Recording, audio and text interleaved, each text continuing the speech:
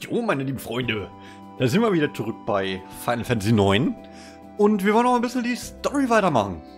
Wir haben ein bisschen gelevelt, jetzt können wir auch mal endlich wieder mit der Story fortfahren. Also dann, ähm, ja, ich werde jetzt noch mal ein paar Items kaufen gehen und dann werde ich dem ollen Lappen von Kuya mal ähm, hinterher dackeln. Und ihm einfach mal die Leviten lesen ein paar Stunden, äh, ja, wir haben einiges an Zeit investiert. Dafür kann, ähm, kann Lili jetzt auch endlich mal ein paar Sachen beschwören und nicht nur einfach nur gut aussehen. So, äh, Zelt, ja, immer einen dabei haben, warum denn nicht? High Potions, her damit. Königsfedern, brauchen wir nicht. So, haben wir alles Vielen Dank, beehre uns bald wieder, aber gern noch. So, wir müssen nämlich zum Vulkan Guruk und dort ein bisschen aufmischen. Ernsthaft? Ein Mogri zum Speichern? Ja, wenn wir schon mal hier zwei Zentimeter weitergekommen sind. Wir sind ja zwei Zentimeter weitergekommen. Das muss man halt eben ähm, auch irgendwie sich selber ein klein wenig belohnen. Finde ich. Mit einer kleinen Ladespeichersequenz. Äh, so, jetzt die Frage. Muss ich hier nach oben? Ah ja, tatsächlich. Ach so, jetzt haben wir so einen kleinen Ausguck. Was ist das?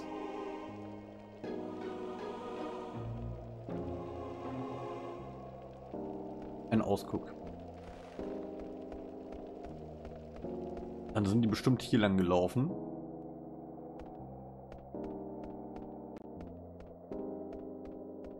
Tür ist sogar offen. Man erwartet uns förmlich mit geöffneten Türen. Ja, wir müssen, ähm, wie heißt sie, Aiko retten. Uya hat Aiko entführt, der Olle.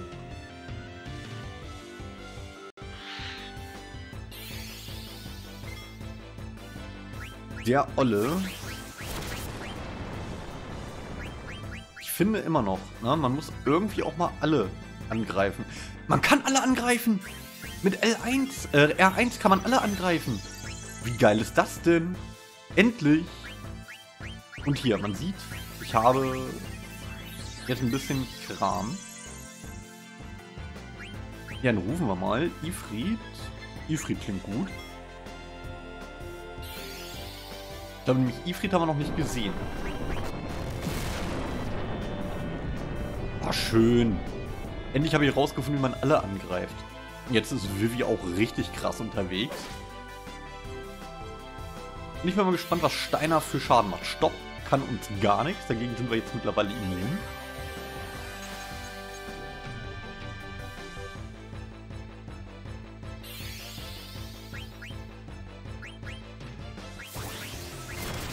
Oh, herrlich. Ich bin so begeistert. Und Auto Potion ist halt eben echt super cool wegen dieser Bonusaktion, die man hat. Es verprasst zwar, ähm, ja, Heilung ohne Ende, aber das Gute an Auto Potion ist nun mal einfach, dass, ähm, na, dass die Potions innerhalb des Kampfes mehr Schaden, äh, mehr Lebenspunkte heilen als außerhalb des Kampfes. Und auch das lohnt sich halt eben massiv. Jawohl, guckt euch mal diese Oberarme an, Alter. Ein richtiger Bär.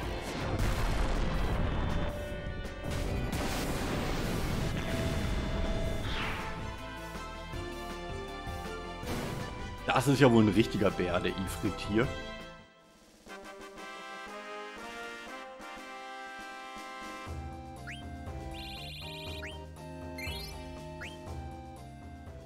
Ja, kriegt man schon ein bisschen Bock, ne?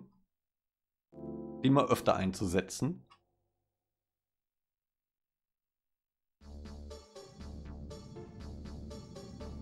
Der Vulkan Guruk. Da sind wir. Es sieht aus, als ob hier Zwerge wohnen, ne? Erstmal da lang. Das sieht so aus, als ob dieser Weg nicht richtig wäre. Doch, da wohl. Oh, gibt es ja einfach mehrere Wege. Das wäre ja auch ekelhaft. Kommt man hier irgendwo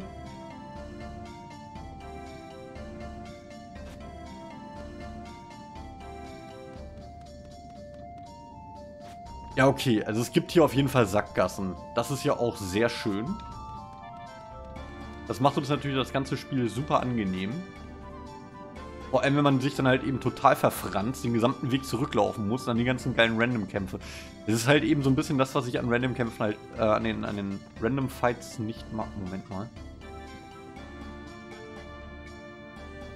So, Anschlag.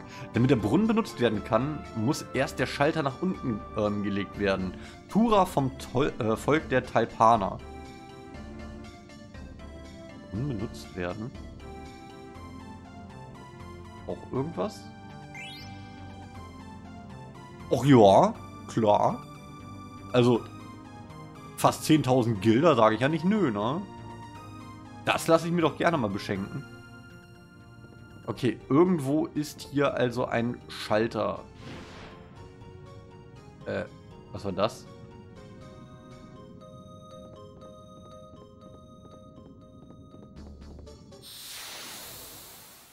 War denn das jetzt gerade? Ich habe nur so einen Schatten gesehen. Ich dachte, der Boden bricht auseinander.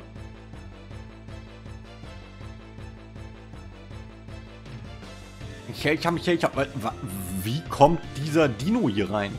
Bist du für ja, bist du eklig oder was? Toxinarten. Und ich habe noch überlegt, irgendwas reinzupacken, was gegen Gift hilft. Aber nein.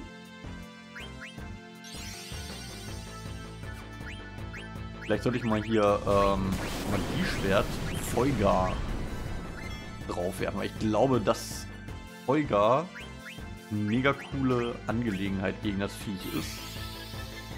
Wenn es mit Toxin um die Ecke kommt,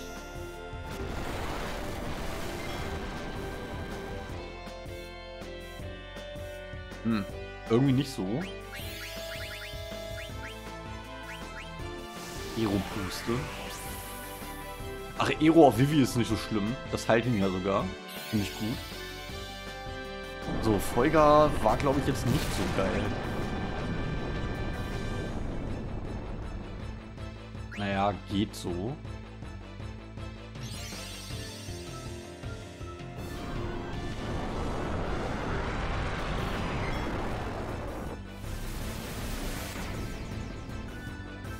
Nom?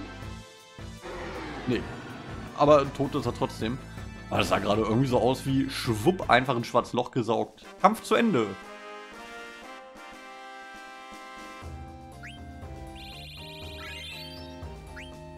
Nice, Level up. So, aber der olle Sidan hat irgendwas.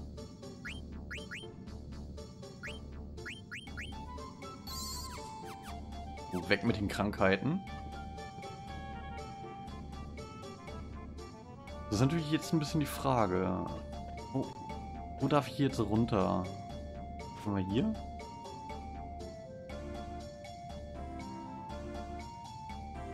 Ach so, das ist der Brunnen. Moment.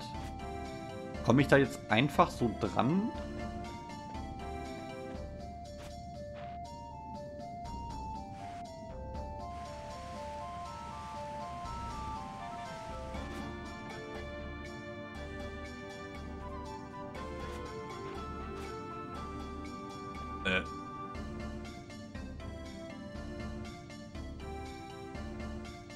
Okay.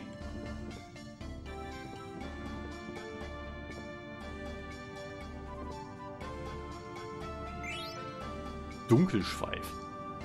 Was macht denn jetzt hier der Dunkelschweif? Gleich neuer Gegenstand. Gleich prüfen. Hier ist es nicht. Ist das vielleicht eine Waffe? Das wäre ja cool.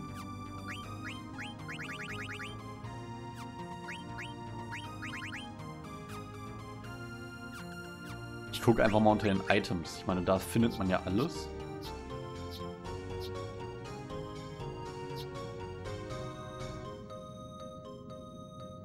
Ja. So, eine Wurfwaffe. Effektiver ähm, als... Ah, okay. Damit kann man durch die Gegend werfen. Oder man kann es durch die Gegend werfen, wenn man Bock drauf hat. Jetzt bin ich da. Ach, hier geht es noch runter weiter.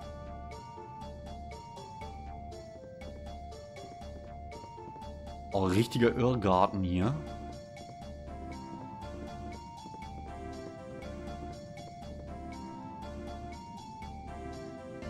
Und alles voll durcheinander. Haben wir hier? Gaia-Kittel. Gaia-Kittel klingt ja schon so ein bisschen wie etwas, was man den, den Zauberern anlegen kann.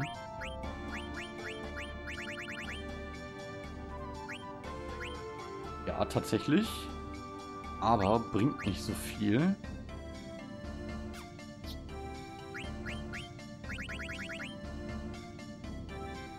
Er erhöht die Abwehr auf jeden Fall ordentlich.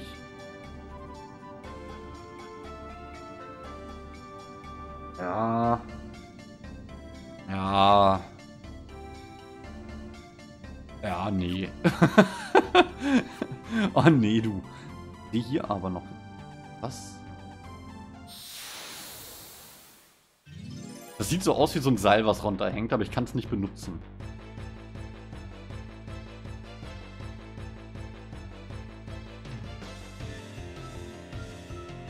Das sind aber nicht die üblichen Schwarzmagier. Was sind das denn für Viecher?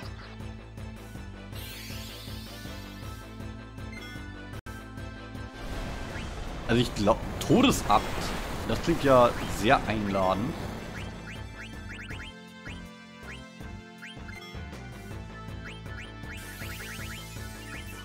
Das klingt in der Tat wirklich sehr einladend. Ja komm, dann mal versuchen wir es mal mit Blitz. Ich habe gehört, Geister mögen keinen Blitz.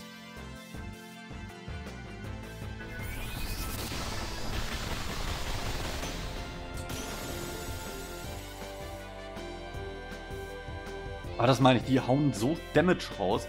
Und wenn die dann halt eben hier äh, mit, mit Auto-Potion sich selber direkt heilen können, dann erspart uns das halt eben eine Aktion, die wir mit den Gegnern machen können, um, ähm, um Vita zu casten oder solche Spielereien. Und das ist schon nicht verkehrt, tatsächlich.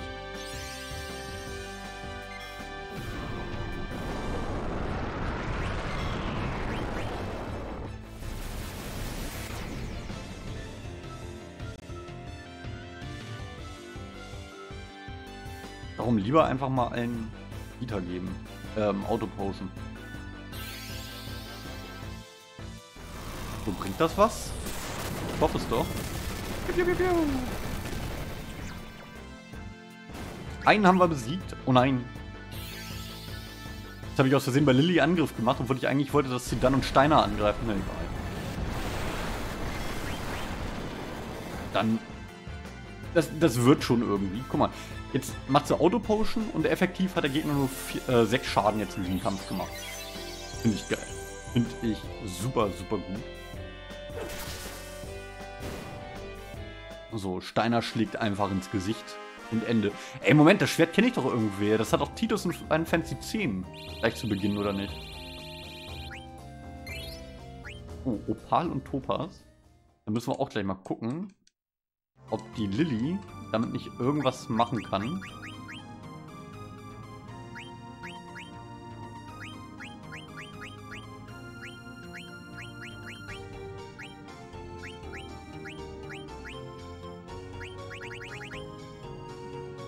Voll geil, spektakulär. Nee, sie kann leider nichts damit machen. Schade. Ja, super spektakulär. Spekulatius ist das. Okay.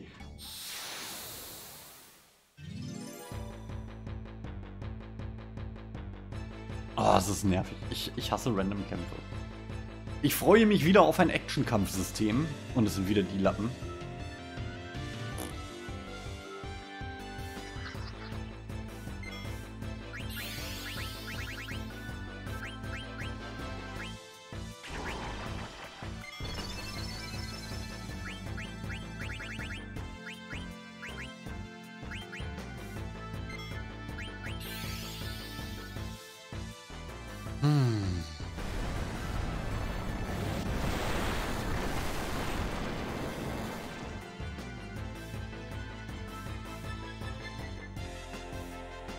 Was ist denn jetzt eigentlich mit Steiner passiert? Warum stand der denn da gerade so? Warum hat der denn gerade so komisch blau geleuchtet? Wisst ihr das?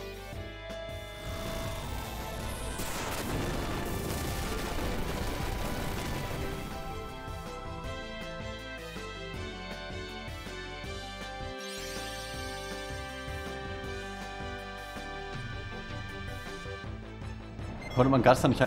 Ach Mensch, André, komm mir doch nicht mit solchen Dingern um die Ecke. Ja, du hast natürlich recht. Eigentlich kann man mit, ähm, kann man Geister heilen. Zumindest wenn es... Nee, Untote kannst du heilen. Geister, glaube ich, sind da weniger betroffen von. Ich weiß nicht, ob Geister als Untote zählen.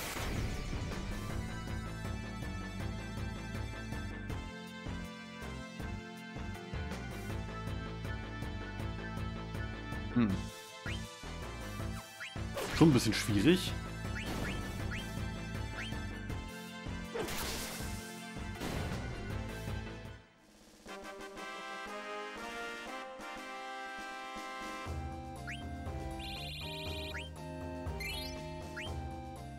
Das war Atmos, genau. Hast du richtig erkannt?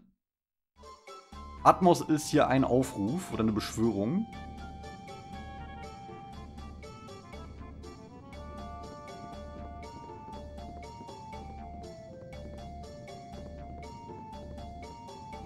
Kann ich auch nicht lang. Oh, hallo du. Was bist du denn für ein kleiner Freund, du?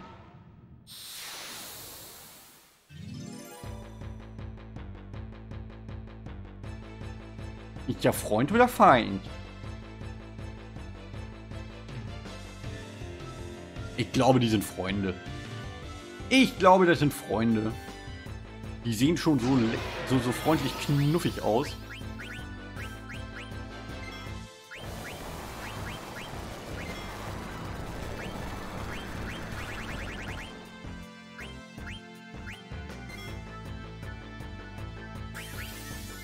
Aus, als wollen die knuddeln, die kleinen, kleinen Papa äh, Kakadus hier.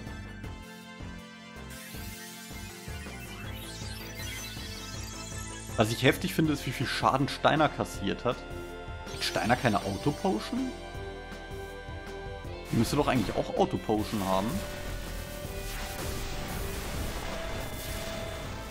So, einmal Grillhähnchen bitte. Toll. 1100 Schaden. Lilly macht das besser. Ich bin ja schon zufrieden, dass du überhaupt triffst. Aber jetzt macht das gefälligst richtig.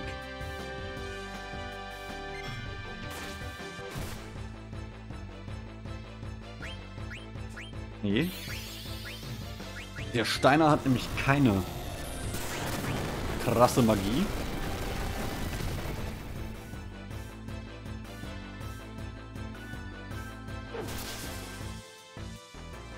Alter, wie viele Lebenspunkte haben die? Ey, der hat doch locker irgendwas um die 10.000... Einer von denen hat locker 10.000 Lebenspunkte schon wieder hier. Ey, fuck you, ey.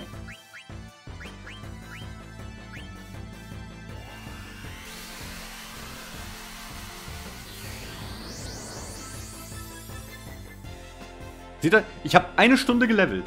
Ich habe eine Stunde gelevelt und irgendwelche fucking Trash-Mobs, die irgendwas um die 12.000 Lebenspunkte haben, kommen hier um die Ecke und äh, machen einen auf dickes Ding.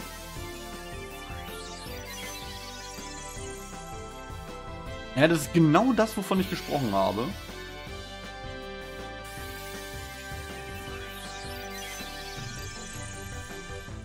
Und da geht einfach die Heilung ins Nichts. Ja, aber nein, nein, du brauchst nicht leveln, das sollte reichen. Ja, am Arsch. Nein. Es war so klar, dass es wieder auf Steiner geht. Es war so klar. Die gehen, die gehen immer auf den mit den, letzten, mit den wenigsten Lebenspunkten.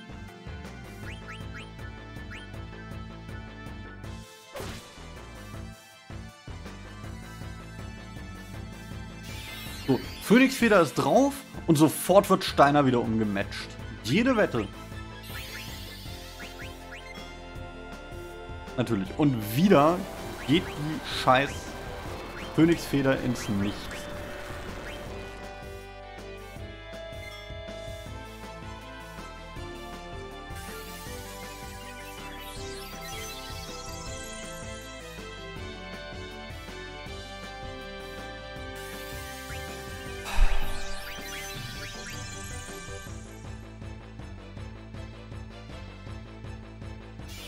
Lilly kann sich nicht konzentrieren, Alter.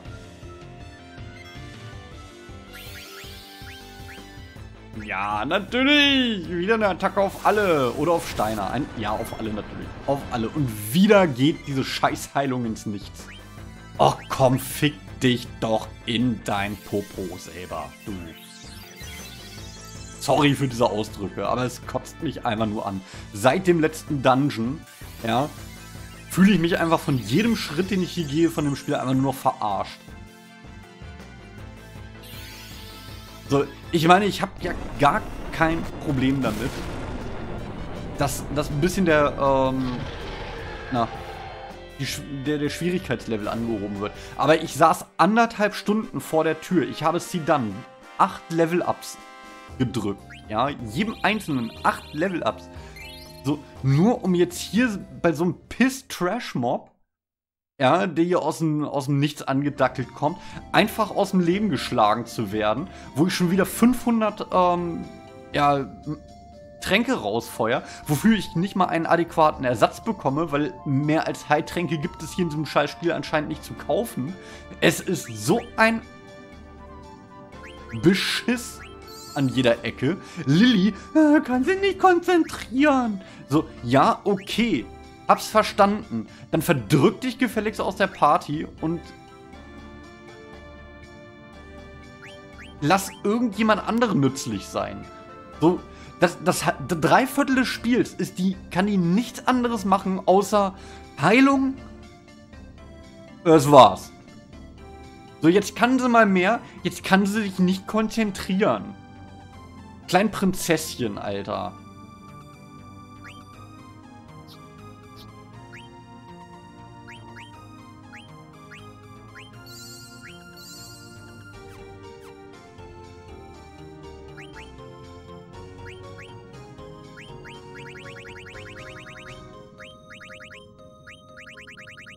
So, und wer auch immer auf die Idee kam, dass es eine geile Idee ist, dass man Äther nur, nur im Kampf einsetzen kann, oder was? Nee, kann man nicht. Nochmal Glück gehabt. Zu früh, zu früh rumgewütet.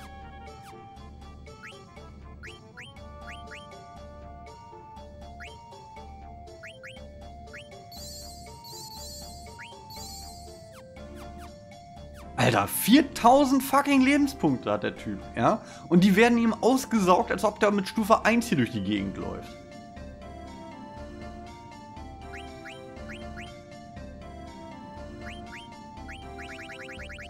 Hat der überhaupt Auto-Dingsbums?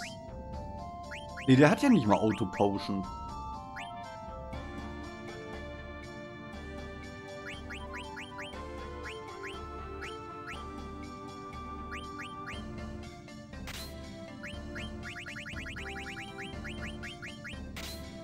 So, das war's. Der macht jetzt Konter.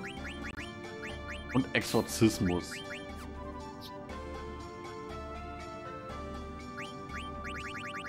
Ist mir einfach echt ein bisschen ein Stück weit zu so blöd mit dem...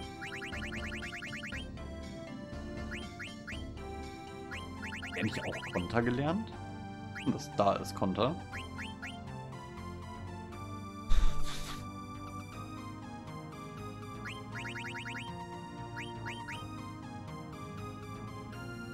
Alter, ich, mit dem komme ich einfach nicht an die, an die Punkte ran.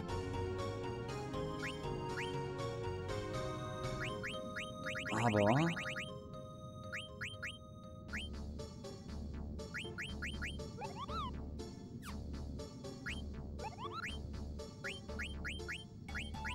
Vier Punkte brauche ich.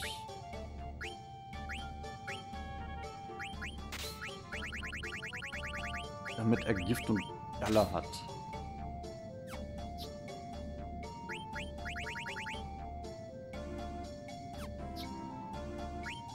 Weil Gift und Galle ist insofern ganz gut wegen ähm, Schutz auf Vergiften.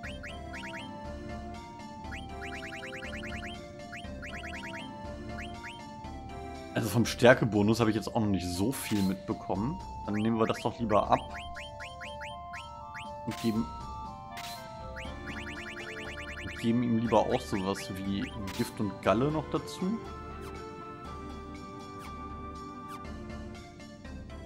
Ein komischer Typ erscheint. Die Attacke ist sehr effektiv. Äh, sehr nervig. Ja, sehr nervig. Einen wunderschönen guten Abend, Onkel Lom. Mein Gutester. Äh, äh, äh, äh, äh, äh, äh, äh, Da kriegt er nämlich nochmal einen Shoutout, der gute Onkel. Schaut auf jeden Fall auch bei dem guten Typen rein. Der spielt gerade Legende von Zelda Minishing Cap auf den Game Boy Advance. Richtig gut. Ich schaue auch immer wieder nach Möglichkeit rein bei dem guten Herrn.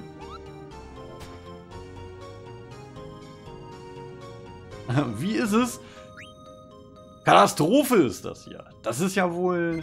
Also Final Fantasy 9 ist ein super geiles Trollgame. Ein richtiges Trollgame. Nerdzeitalter, grüß dich. Ach Mensch, und der Ben ist hier. Wie läuft's bei dir? Genau so läuft's.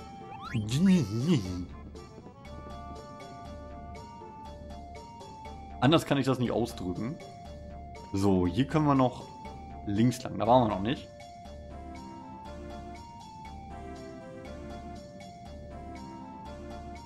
So, nimm diese Hütte. Hä? Was ist hier?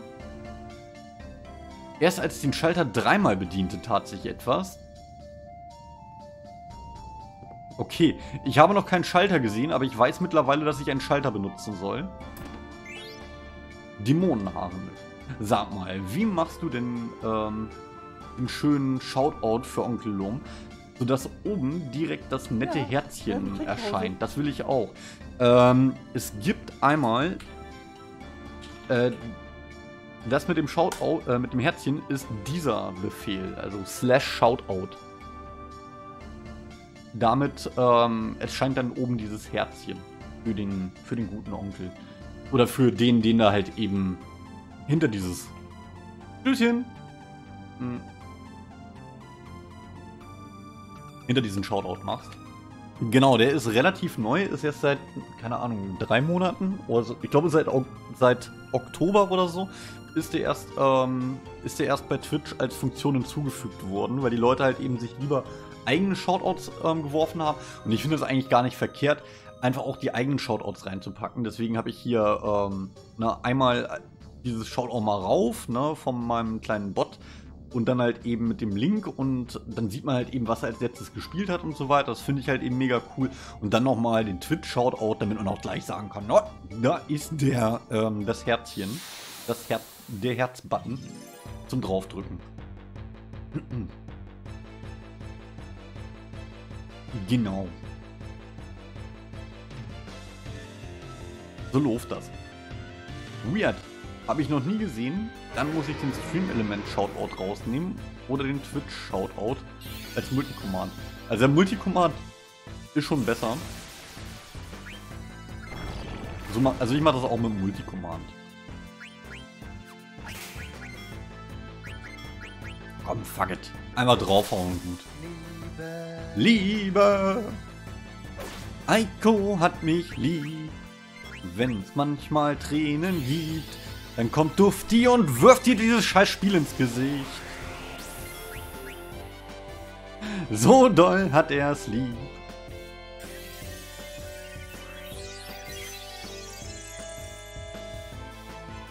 Du machst auch nur noch die Twitch-Shoutouts. Ja, ich mach beides tatsächlich. Einfach, weil ich es irgendwie ganz cool finde, beides zu haben. Ich möchte nämlich auch mal lesen, was die Leute gerade gespielt haben.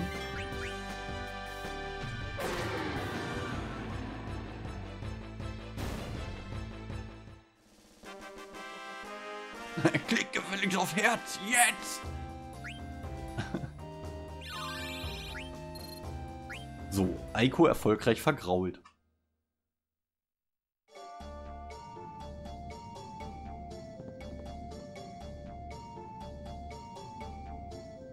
Und dann steht dann nur Retro und weiß richtig, ähm, was? Er ist noch da! Der Eiko ist noch da. Das freut mich. Ah, guck mal, da ist... Da, oh, guck mal, da oben ist ein kleines Plüschtier. Das wird gleich gekocht. Marshmallow, äh, Marshmallows. Mogri schmecken bekanntlich nämlich nach Marshmallows. Merkt euch das. Wenn ihr meinen Mogri seht, aufspießen und über den Grill.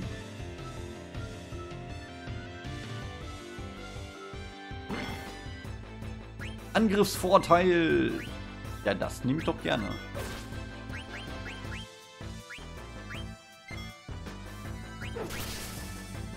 Wie Schutz. Ja, okay, Ist halt das Problem. Ich zock halt fast nur Regen. Und dann meistens so Zeug, ähm, wo das richtig...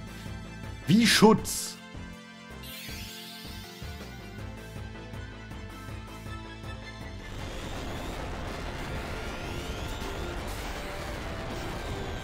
Wie Schutz.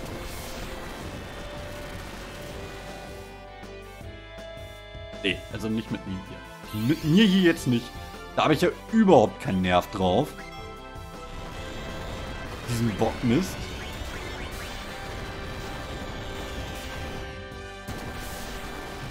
Weißt du, da, da levelst du stundenlang.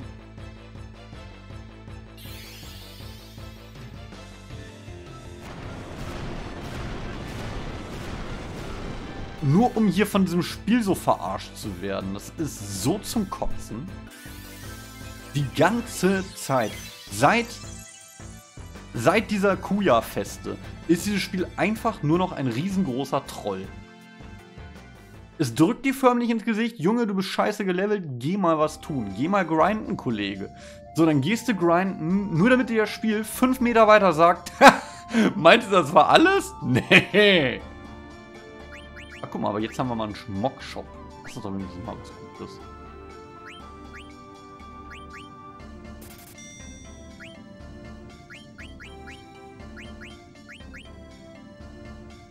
Willkommen in Final Fantasy IX. Ja, es ist echt so.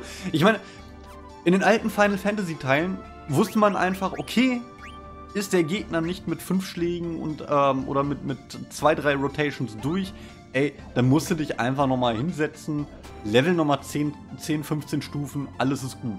Hier ist es halt eben so, du kriegst erstmal ins Gesicht, sagst dir, alles klar, ich gehe erst einmal zwei Stunden leveln. Dann levelst du zwei Stunden, gehst in den Dungeon und dann sagen sie dir wieder so, nö, einfach mal Schlag ins Gesicht. Komm. Habe ich keinen Bock drauf. So fünf Meter weiter. Gleich wieder das nächste Levelgebiet. So. Und dann natürlich ganz fair, dann ganz fair, gibt es natürlich super viele Erfahrungspunkte, nämlich genau 10 oder so. Damit es, so, damit es sich so richtig gelohnt hat. Moment, hier kann ich aber auch mein Zelt nutzen, fällt mir aus. Nutzen doch gleich mal ein Zelt. Zelt, Mogri-Shop, das ist ja zu ja. freundlich. Ja, kleine Trinkpause, aber gerne doch. Ich trinke auch für euch. Gar kein Problem, aber nur Wasser. Oder ist diese durchsichtige Flüssigkeit etwas anderes? Hm.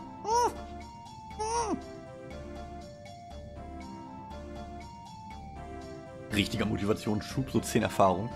Ja, ja, klar. Es ist halt eben für den japanischen Markt gedacht, ne? Ach was, bei Final Fantasy 5 musste ich mehr grinden. Ja klar, bei Final Fantasy 5. Ich sag nur Osmar. Ja, danke. Gut, dass du mich schon mal vorwarnst, Alko. Dann weiß ich jetzt zumindest schon mal, was ich nicht mache.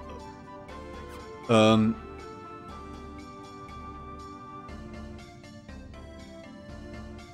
Final Fantasy 5, der Grind ist real. Ja, der, zum Schluss, ne? Zum Schluss ist Final Fantasy 5 halt eben ein riesengroßes Grindfest. So, aber es ist mir egal. Ich werde jetzt kurz in eine Pause gehen und mein, meine Freude in die Welt hinausschreien. Bis gleich.